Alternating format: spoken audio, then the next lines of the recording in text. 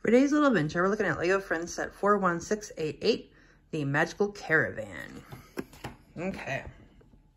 So we've got our horse here. Her head does not move. Her head does move up and down. Sorry. Got pretty mean there. Got the front side of the caravan with the star and the flags. Got the windows. Now this opens up like this.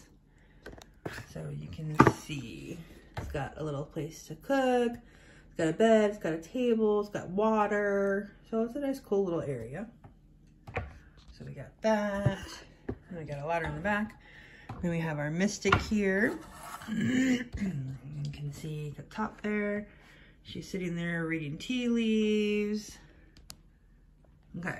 And then when her magic happens, it spins.